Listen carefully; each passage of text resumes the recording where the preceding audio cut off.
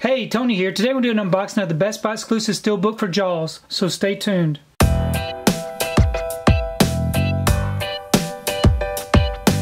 So today I picked up my order for Jaws. This is a Best Buy exclusive Steelbook featuring the 4K Ultra HD, the Blu-ray, and the digital. And here's the front and the top of the J card.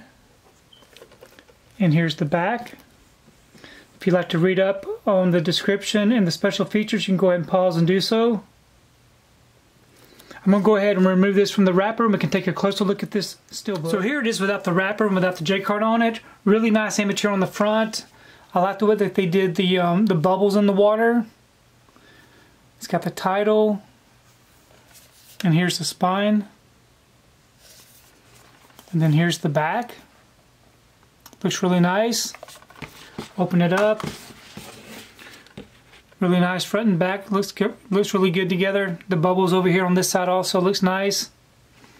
Then on the inside it does come with a digital code. And then in the front we have our Blu-ray disc with some disc art. And then in the back we have our 4K disc with some different disc art which looks really nice. And then a really nice scene of the kids running out of the water so overall, it's a very nice looking steelbook. So overall, I'm really pleased with the um, steelbook release for Jaws. I really like the way that this looks. I um, also wanted to take time just to show you the regular 4K lenticular package. Um, I really like the way that that one looks also. Please leave me a comment below. Let me know what you think about the movie Jaws. Let me know if you picked up the Steelbook if you just picked up the regular 4K release. I really do enjoy reading your comments.